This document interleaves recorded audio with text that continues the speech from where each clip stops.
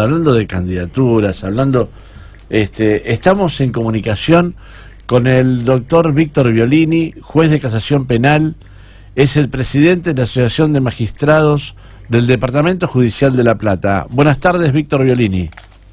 Buenas tardes, ¿cómo estás? Un gusto poder charlar con, con vos, Víctor este, un gusto de, poder tenerte acá en el aire, porque tenía acá un interlocutor que estábamos tratando, él venía remando que quiere llevar la candidatura de Víctor, digo, pero vos podés, podés decirme si va a ser candidato o no, este, se lo tengo que preguntar a Víctor. ah, Santiago, mira, cada día estoy más cerca del candidato, me estás convenciendo, cada día me, cada día me, me acerco un poquito más a la candidatura. Eh, sí, sí, me encantaría, me encantaría ser candidato y, y estoy, este, estamos, estamos este, charlando y viendo este, la posibilidad de, que esto se concrete eh, lo antes posible y, la realidad es esa, la realidad es que uno ve la situación actual no solamente de La Plata, sino de todo el país, que es lamentable.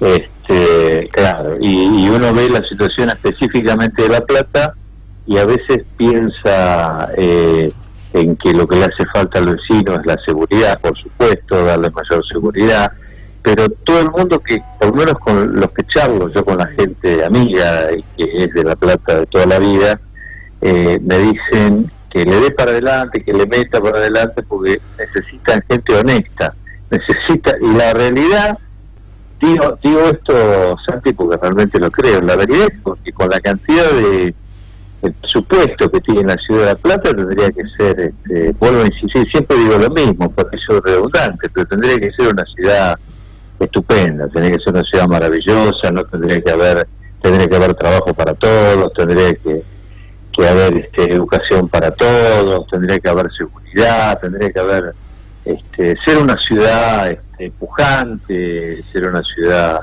este, increíble, la ciudad de La Plata, vuelvo a repetir, con, con este, la cantidad de, de, dinero que ingresa a la ciudad de La Plata, si uno este, se maneja o, los que gobiernan se manejaran de otra forma y de otra manera, la realidad sería totalmente distinta. Me dejaste sin palabras, Víctor. Ahí, tenés el título. Me dejaste sin palabras. Porque mira que charlamos, muchas veces he charlado con vos y todo, y hoy hoy me estás diciendo que, que sí, que tenés muchas ganas de ser candidato. Y, tengo muchas ganas de ser candidato. Y no, no me lo habías dicho antes, ¿eh? ¿eh? Tengo muchas ganas, lo que pasa es que uno, este, eh, a ver, Santiago, yo no busco empleo, porque yo si, si voy como, claro, yo como candidato a intendente me tengo que jubilar como juez y voy a tener mi jubilación de juez. Si yo no busco, no estoy buscando trabajo.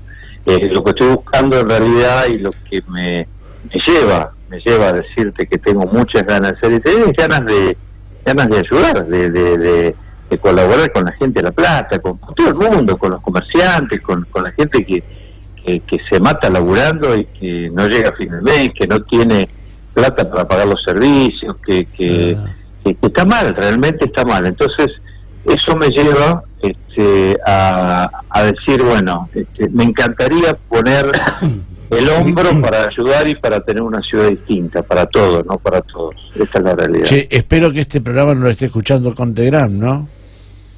No, no, igual no hay problema porque yo fiscal no soy, soy juez. el código de ética de Contegram no me interesa, realmente. pero, pero qué bueno, Víctor, que tomes esa iniciativa este, sinceramente, qué bueno que tome esa iniciativa y que podamos hacer justicia en el movimiento nacional justicialista, ¿no? Sí, por supuesto, por supuesto. Yo soy, yo soy justicialista, lo he sido toda mi vida, este, siempre he bregado y siempre este, he luchado este, por porque tengamos una, un país justo, un país con justicia social, que es la base de nuestra lucha. Eh, justamente es eso, la justicia social. Y hoy por hoy lo que no tenemos en el país es justicia social, no tenemos este, ni, en la ciudad ni en el país. Este, no hay justicia social, la gente está muy mal, no hay trabajo, no hay educación. Este, se habla de cierre de universidades, porque hay muchas universidades, se habla de, el cierre de escuelas nocturnas, realmente una cosa que yo nunca, nunca la viví, nunca la viví, ni aún en aquellos gobiernos autoritarios que hemos tenido la desgracia de padecer, sobre todo los peronistas, ¿no? Hemos tenido la desgracia de padecer. Este, ni aún en esas épocas eh, eh, he visto que hayan atacado a la educación pública, eh, jamás, de, ningún gobierno. Este, y en este caso se da. Ahí te va a hacer una pregunta, Mario Genotti. No, tenés cuidado con este muchacho. Tenés cuidado con el locutor porque te está sacando información. Me estuvo dos horas en el programa preguntándome si ibas por el peronismo, por cualquier. Le digo, no sé si es juez de los militares. tenés cuidado con este sujeto, Víctor, por favor, te lo pido. Más allá de la seriedad del tema. Hablo, hablo de peronismo, pero hablo de unidad peronista. Sin, unidad, sin unidad no hay. No, por supuesto. Este, no hay candidatos sin unidad. esa es la idea. ¿Cómo, ¿no? Este, ¿cómo, ¿Cómo ves, Víctor, esta jugada que le salió mal a Vidal? Este que proponía adelantar las pasos o suspender las pasos o hacer alguna jugada rara que mm. pretendía desvincularse de Macri para para no perder puntos. ¿Cómo ves esa jugada de Vidal? Yo creo que la jugada de Vidal este, la tiró la tiró abajo Macri, que ha dicho que no, este, que no no haga eso porque no este, obviamente si si se hiciera, si Vidal hiciese esa jugada no creo que Vidal gane la provincia de Buenos Aires tampoco, pero eh, era como una especie de despegar un poco de Macri que se sabe el perdedor eh, neto, ¿no? Este, honesto, como se dice. Este, yo creo que la jugada ha pasado por ese por esa apuesta, es decir, desprenderse de Macri. Y, si nos vamos, nos vamos este todos. claro, si nos vamos, exactamente, yo creo que ha sido esa la apuesta. Si nos vamos, nos vamos todos y si nos quedamos, lo que nos quedamos unos pocos. Creo que creo que las condiciones en que están no van a, no van a, ganar. Creo que es la, posición de Niño Peña y de Durán Barba. Claro, pero creo que, creo que la posición esa de querer desprenderse, como dijo Felipe Solá, que como vendrá que ni Vidal lo quiere la boleta Macri. Pero tratar de proponer eso es como querer desprenderse y a mí me parece que es un punto sin retorno. Yo creo que le va a ir más mal de lo que se imagina. Vidal no lo quiere a Macri en su boleta. Es lo que dijo Felipe y es lo que es. Si vos querés desdoblar es porque no lo querés. Yo coincido, yo creo, yo creo que no lo quiere, no lo quiere ahora. Y creo que no lo quiere porque lo va a perder y lo la perjudica. Ahora, ¿cómo se le cortó la carrera a esta piba de ser este, por lo menos precandidata a presidente, no? Sí, igual te digo, este, yo creo que la gente no es, este, eh, no es tonta, es decir, este, la gente ve lo que está pasando y, siente siente que no llega a fin de mes y siente que el poder el poder adquisitivo cada, cada día disminuye un poco más y siente que todo aumenta. Eh, yo te digo honestamente, yo, digo, yo me baso, a veces me quedan comentarios que me dicen este, la gente amiga, me pongo a charlar. Fue la otra vez estaba en una camisería, me dice camisero, y me bajaron media red y estaba eh, 10 mil pesos la media red. Y si ahora, eh, esto fue un jueves, el otro jueves nos bajaron media red y ya estaba 12. Aumentó en una semana 2 mil pesos la media red. Una cosa que no se puede, eh, así y así como te digo esto, que uno dice, bueno, pasa en todos lados, pasa en, en, eh, en, en el tipo que va a comprar pan, el que va a comprar galletitas, que va a comprar carne, que, eh, bueno, ni hablar, ni hablar de los servicios, ni hablar de los eh, servicios. estamos terminando la temporada y la temporada no fue, una temporada malísima para la costa. No tenga ninguno duda, yo estuve, estuve en la costa, estuve en la costa atlántica y fue una temporada muy, pero muy mala. A usted, muy mala. Y esto, y esto dicho, y esto dicho por, no, no por mí porque yo no puedo evaluar. Si la esto dicho por la gente de, de los comercios, de, de, de las los restaurantes, de, los hoteles, este, que fue una temporada malísima, una temporada pésima. Aparte la había poca gente, o sea, no era poca gente, sino que había mucha menos gente que en otras temporadas. Pero además, la gente que estaba en, la costa este, no gastaba, o sea, trataba de, de, hacer su comida o su cena en su casa o de bien alquilado, todo, no salían a comer, no se salía, era una situación difícil, realmente muy, muy difícil, muy difícil. Claro. Víctor, y teniendo esto que estás pensando eh, mm. muy seriamente ya para ser candidato a intendente o, precandidato a intendente para las PASO, eh, eh, ¿tenés alguna acción de, gobierno? ¿Tenés alguna alguna plataforma que estés ya trabajando o preparando o, vas a empezar a preparar? No, no, estamos trabajando hace rato, estamos trabajando en una plataforma de gobierno. No, le digas nada todavía, por favor. No digo nada. No, digas nada.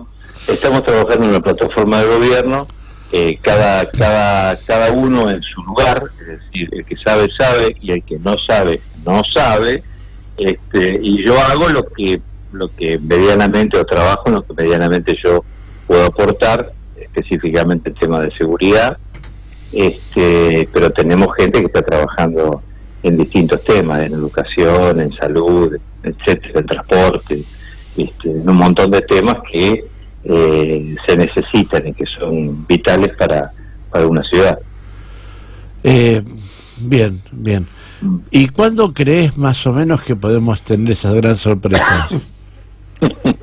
y eso depende depende también en lo que te, decía Santi yo este depende de que exista yo trato de que haya una unidad del peronismo que vayamos todos juntos que no haya divisiones que tengamos todos el mismo la misma bandera que vayamos este todo en el mismo camino.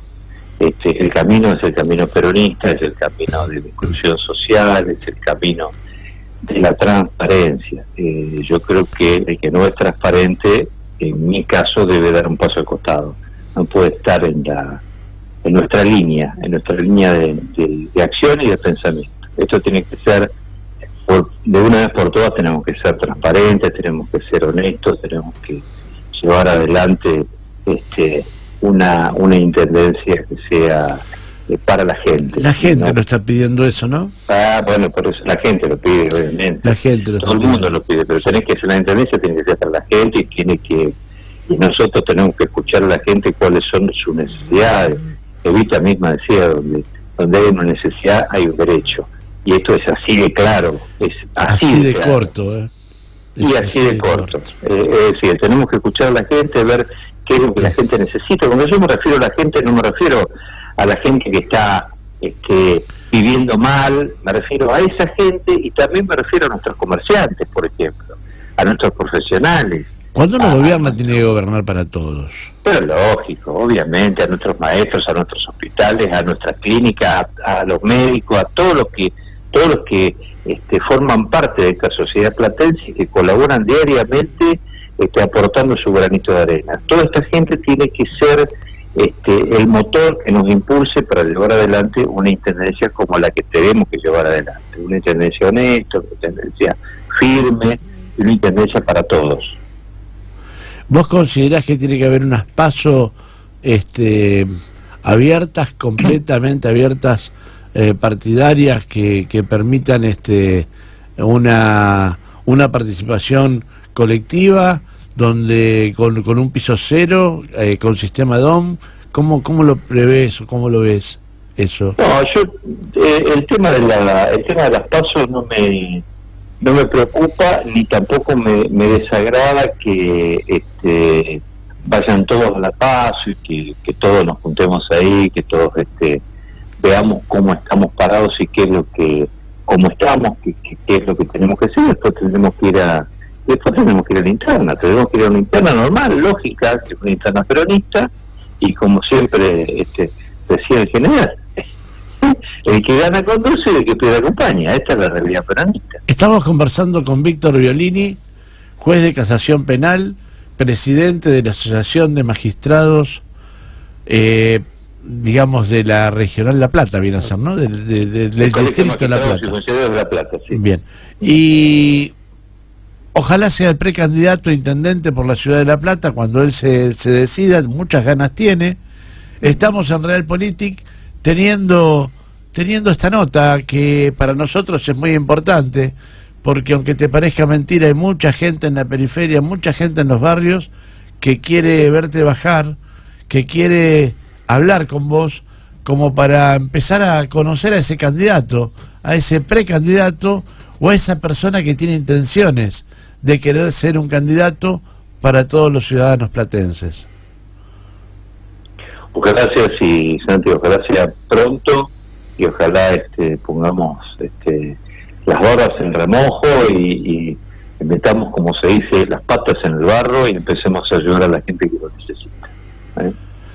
Víctor Violini, muchísimas gracias por la nota, Víctor, y seguramente que vamos a tener esa esa nota donde vos ya largues la candidatura y estés este eh, trabajando codo a codo con los muchachos para poder este llevar la ciudad al triunfo y devolverle esa alegría que tanto al ciudadano platense le está faltando, porque hoy por hoy este, lo único que hacemos es renegar cuando abrimos la heladera. Gracias, Víctor Violini. Un fuerte abrazo para ambos. Muchas gracias. Víctor, un abrazo. Y acá estamos en Real Política FM con Mario Gianotti y vamos a cerrar, Mario, ¿te parece?